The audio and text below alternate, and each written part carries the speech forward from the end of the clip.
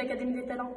Aujourd'hui, je ne suis pas là pour faire du tout comme M. Vérac ou encore Victor Agathe, mais comme vous l'aurez remarqué, je suis en kimono. Je vais alors vous présenter ma passion qui est le karaté à travers un kata qui s'appelle Unsu. Pour ceux qui ne savent pas ce que c'est qu'un kata, c'est en fait une suite de mouvements codifiés par les moindres détails. C'est peut-être pas clair pour vous, mais je vous laisse découvrir ça. En fait, je ne vous promets pas une catastrophe.